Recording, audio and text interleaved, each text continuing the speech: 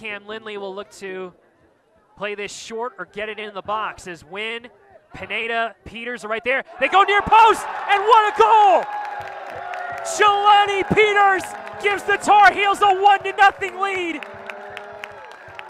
They played that set piece before, and Peters didn't connect there the last time, but this time it was an absolute beauty.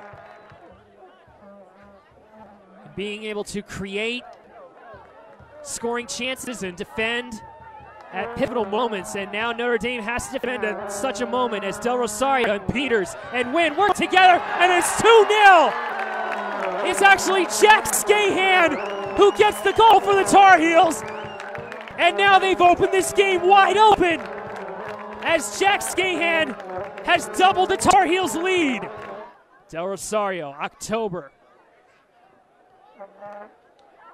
Nelson finds Winn. Winn to the edge of the box. Ah. Winn with the shot. Oh, what a goal!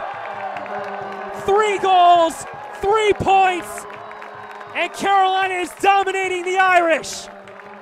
What a bit of flair from Alan Winn.